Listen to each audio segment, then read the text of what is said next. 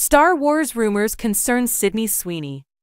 Sydney Sweeney is rumored to be heading to a far-off galaxy as Lucasfilm is reportedly eyeing her to portray a Jedi in a forthcoming Star Wars project.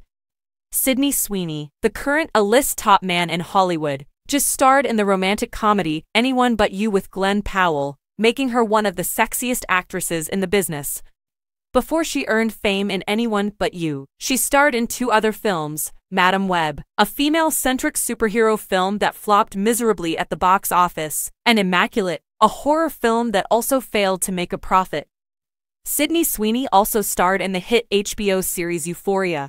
She will be seen in Ron Howard's Eden, the Christy Martin biopic in which she plays a female fighter. Since she was 12, Sweeney has trained in mixed martial arts and Echo Valley, the rumor about Sydney Sweeney and Star Wars comes from Midam Toshin Hello. Take this report with a grain of salt. As Marvel shut down Scooper Can We Get Some Toast, who I assume provided Midam Toshin Hello with all their knowledge, the Scooper isn't what it once was.